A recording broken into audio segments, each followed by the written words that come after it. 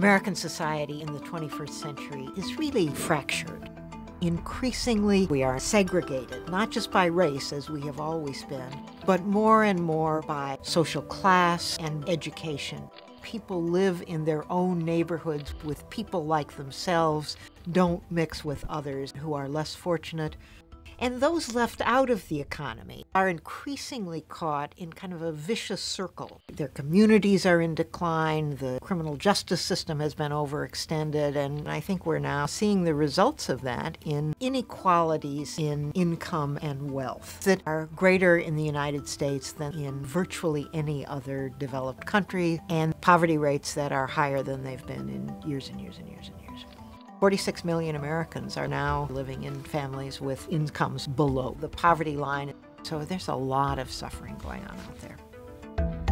Another kind of fracture, and this is really important, is that America is no longer the land of opportunity for many people. I mean, we now know that children whose parents are well educated or well off have much greater opportunities than children whose parents are, are not so well off.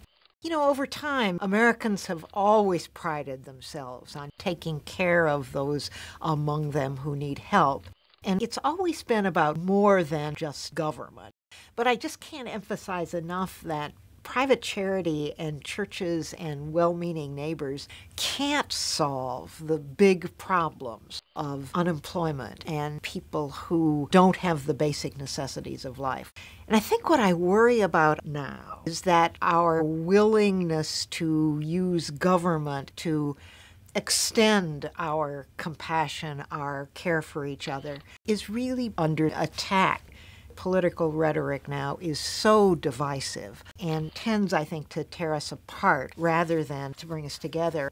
And so rebuilding trust among people and trust in the polity and trust in government is crucial because nobody's going to be willing to increase government programs until we feel like we're all in this together. And it's just so important, I think, that people see themselves as part of the overall fabric of the, of the society.